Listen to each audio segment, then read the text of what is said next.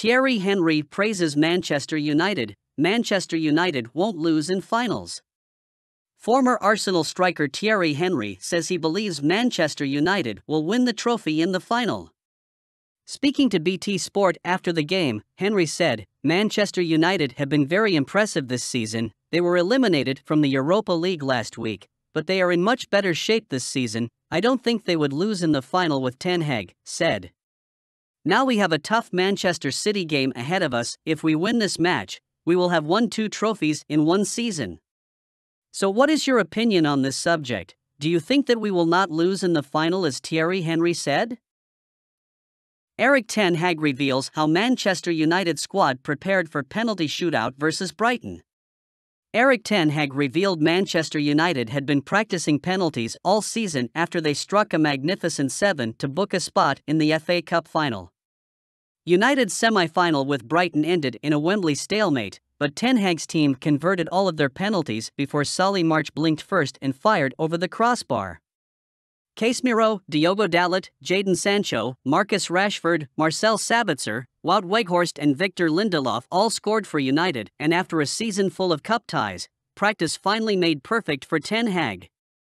Not only this week, we do it during the whole season, it's a part of our coaching and training, because we play a lot of cup games, in England especially, the United manager said. They looked tired as the game ticked into extra time, but Ten Hag refused to let it be an excuse and told his players to get their mindset right. It's not easy, that can be part of the reason for Thursday, but it's all in your mind, it's all in your head, he said. Erik Ten Hag comments on David De Gea and says Manchester United let him down v Sevilla. Erik Ten Hag has come out fighting in defense of goalkeeper David De Gea after the FA Cup semi-final.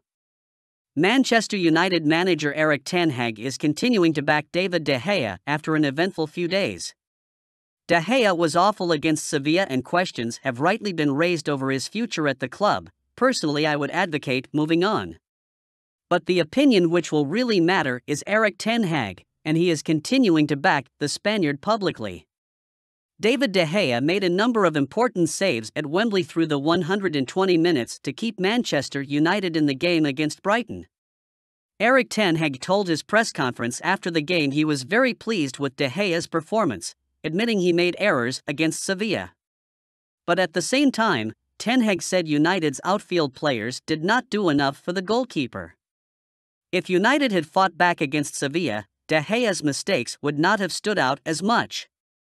He told his presser, I was very impressed with him. He made some brilliant saves. It hurt when he made mistakes on Thursday. Often, when you make mistakes as a keeper, you get punished. We let him down. We didn't fight back for him. We bounced back today, though. Questions do remain over De Gea's future, but there's room to focus on the positives now after United's win. Manchester United now in pole position to sign Victor Osimhen after £133 million bid reveal. Chelsea's financial issues have handed Man United a huge boost in their pursuit of Napoli star Victor Osimhen, sources have told Football Insider. Both Premier League clubs are eager to sign a marquee striker this summer, and the 24 year old Nigerian is at the top of their shopping lists.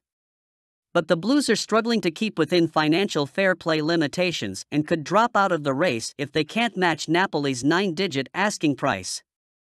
Football Insider sources revealed on Sunday that a move for Osimhen may now be considered financially impossible for Chelsea.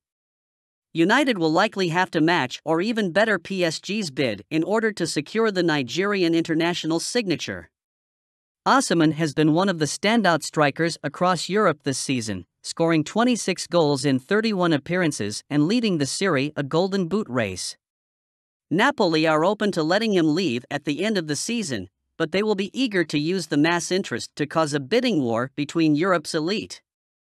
United do have other forwards on their radar, including Brentford striker Ivan Toney. How did Amad Diallo fare in Sunderland's 2 1 win over West Brom? Manchester United's Amad Diallo is enjoying a very successful loan spell at Sunderland this season. The 20 year old has registered 12 goals and 3 assists in 35 league appearances so far this campaign. The winger's excellent performances has earned him a nomination for the championship's Young Player of the Season. United manager Erik Ten Hag is said to be so impressed with Amad's development that he is ready to include the player in the squad next term. The Ivory Coast international was also in fine form on Sunday as he helped Sunderland win 2 1 against West Bromwich Albion. While Amad had no headline moment, he made sure the Baggies' defense could never relax in the game. He looked a real danger throughout, especially in the second half. The 20 year old posted impressive numbers, with 71 touches, 3 key passes, and 3 shots to his name. He also boasted a 88% pass accuracy, made 3 crosses, and played 4 long balls.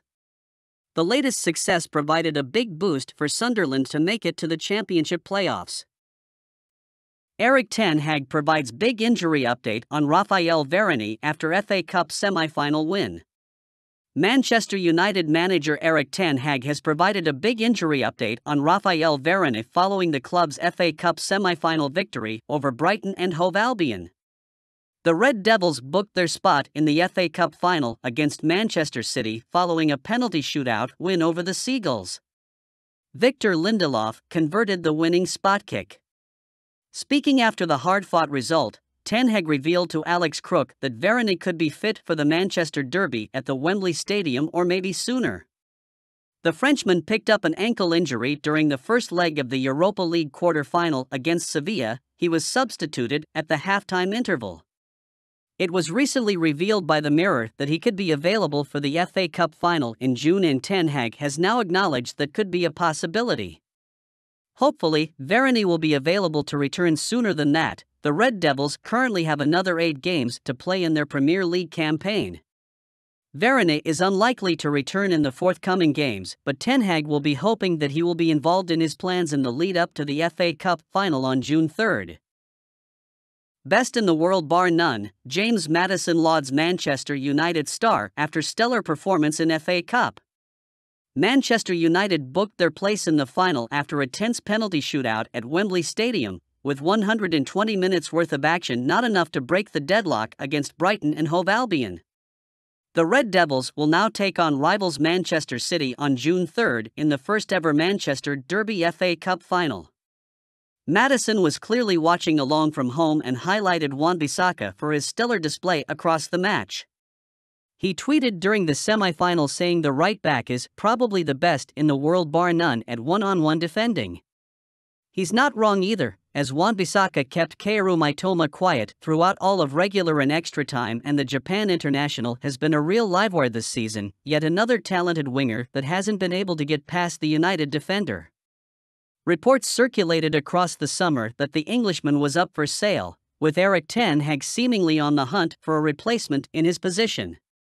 However, his displays throughout the second half of the campaign have certainly earned him a chance to stay at Old Trafford, and he's likely now the manager's first choice.